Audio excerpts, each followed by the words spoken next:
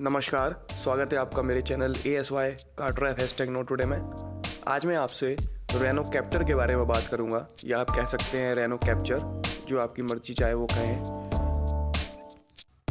Positive points की बात करते हैं तो सबसे पहला पॉजिटिव पॉइंट है इस गाड़ी के लुक्स चाहे एक्सटीरियर हो या इंटीरियर हो, गाड़ी को काफ़ी प्रीमियम लुक्स मिले हुए हैं। स्पेशली इसके इंटीरियर की जो प्लास्टिक क्वालिटी है, वो काफ़ी सॉलिड है फिट एंड फिनिशिंग भी काफ़ी अच्छी है। सेकेंड पॉइंट इस गाड़ी के इंजन में आपको सेटिस्फैक्ट्री पावर मिलती है। ऐसा नहीं है कि अपनी सेगमेंट में सबसे ज़्यादा पावर मिलती है, लेकिन ऐसा भी नहीं है कि बहुत ही अंडर पावर लगे आपको इंजन। ऐसा नहीं है बिल्कुल भी। आपको पावरफुल इंजन लगता है ये चलाने में। डस्टर वाला सेम इंजन ही इस गाड़ी में यूज़ किया गया है 1.5 लीटर पेट्रोल में और डीजल में भी। उसकी पावर और टॉर्क को आप अपनी स्क्रीन पर देख सकते हैं। थर्ड पॉइंट इस गाड़ी के सभी वेरिएंट्स में आपको dual airbags anti lock braking system और इलेक्ट्रॉनिक ब्रेक डिस्ट्रीब्यूशन जैसे सेफ्टी फीचर्स स्टैंडर्ड मिलेंगे। फोर्थ पॉजिटिव पॉइंट की बात करता हूँ तो राइड एंड हैंडलिंग इस गाड़ी में चाहे स्टेयरिंग की बात करूँ या फिर गियर बॉक्स की, दोनों ही काफ़ी स्मूथ और लाइट हैं। इस गाड़ी के में आपको अच्छा खासा सस्पेंशन मिलता है स्पेशली इंडियन रोड्स के हिसाब से बिल्कुल परफेक्ट है।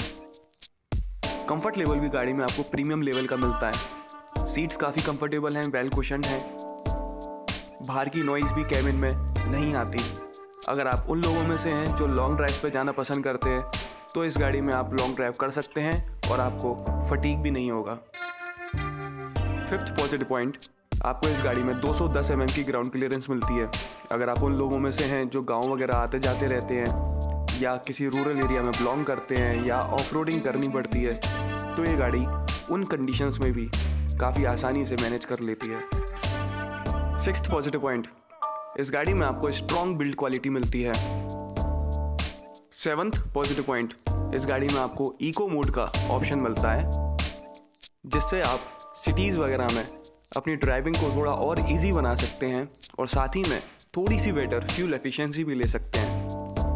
नेगेटिव पॉइंट्स की बात कर लेते हैं। इस गाड़ी में मेरे को कोई ऐसा मेजर नेगेटिव पॉइंट नहीं दिखा, लेकिन फिर भी कुछ चीज़ें हैं, जैसे पहला नेगेटिव पॉइंट लोअर आरपीएम्स पे आपको थोड़ा सा पावर लैग फील हो सकता है। सेकंड नेगेटिव पॉइंट इस गाड़ी की जो ड्राइवर सीट है, वो ऑलरेडी इतनी हाई है, इतनी ऊँची है कि अगर आप छः फीट या फिर उससे भी ज़्यादा लंबे हैं तो आपको ये सीट काफ़ी ऊँची लगेगी।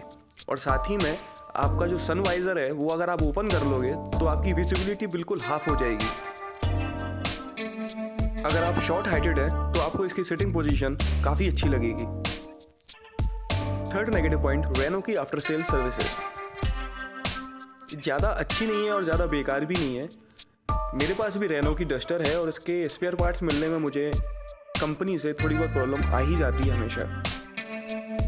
फोर्थ नेगेटिव पॉइंट कुछ ऐसे फीचर्स हैं जो आपको रेनो कैप्टर में नहीं मिलते, जबकि इसके राइवल्स में आपको मिल जाते हैं। जैसे, इसके इंफोटेनमेंट सिस्टम में आपको ना तो एंड्रॉयड ऑटो मिलेगा और ना ही एप्पल कारप्ले मिलता है। जो फ्रंट आर्मरेस्ट है उसमें आपको स्टोरेज नहीं मिलता। आपको इसमें ऑटोमेटिक ट्रांसमिशन नहीं मिलेगा, सिर्फ़ मैनुअल मिलेगा। हालाँकि रेनो का कहना है कि नेक्स्ट ईयर तक ऑटोमेटिक ट्रांसमिशन भी लॉन्च हो जाएगा। इसके अलावा आपको इसमें सिर्फ़ चार एयरबैग्स मिलते हैं मैक्सिमम जबकि इसके जो राइवल्स हैं उसमें आपको मैक्सिमम छः एयरबैग्स मिलते हैं।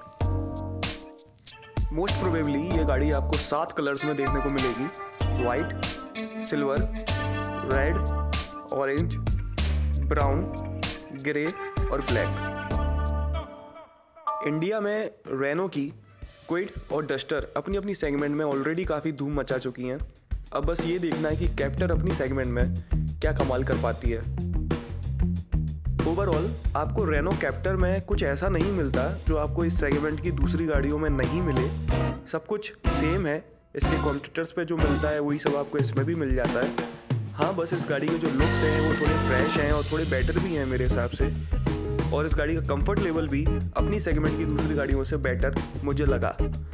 इसके अलावा और कुछ आपको इसमें स्पेशल नहीं मिलता। अब बस देखना ही है कि भारत की जनता इस गाड़ी को किस हद तक एक्सेप्ट करती है। अब मैं आपसे इजाज़त लेना चाहूँगा। इस वीडियो में दी गई जानकारी से अगर आपको एक परसेंट भी मदद मिली हो तो प्लीज़ आप इस चैनल को सब्सक्राइब करें। इस वीडियो को लाइक करें शेयर करें। कोई डाउट हो तो कमेंट करके आप पूछ सकते हैं। आपका दिन शुभ रहे। धन्यवाद।